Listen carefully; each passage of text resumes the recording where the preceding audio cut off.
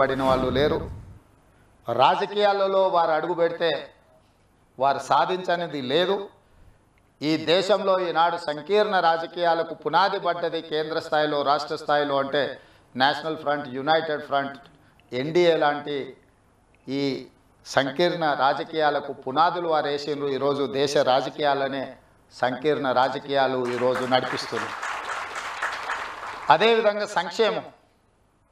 ఈరోజు బసవ తారకం ఆసుపత్రి అయినా రెండు రూపాయల కిలో బియ్యం అయినా యాభై రూపాయలకు హార్స్ పవర్ రైతులకు ఇవ్వాలని ఆలోచన అయినా జనతా వస్త్రాలైనా పేదవాడికి కూడు గుడ్డ ఉండాలి అని ఒక గొప్ప మనసుతో ఒక గొప్ప ఆలోచనతో నందమూరి తారక రామారావు గారు సంక్షేమాన్ని కూడా మనకు వారసత్వంగా ఇచ్చింది.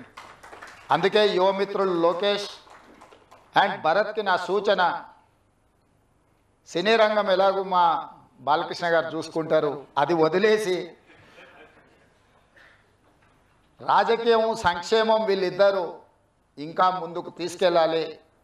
వారికి బ్రాహ్మణి గారు తేజు వీరు కూడా బాధ్యత తీసుకొని ఈ కార్యక్రమాన్ని ముందుకు తీసుకెళ్ళాలని వారికి సూచన చేస్తూ ఇంత మంచి కార్యక్రమాన్ని ఏర్పాటు చేసి మా బాలయ్య బాబు గారు ఇరవై ఐదవ వార్షికోత్సవానికి రావాలని వారు ఆహ్వానించారు.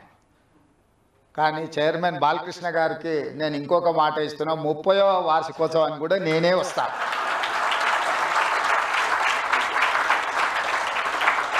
ధన్యవాదాలు.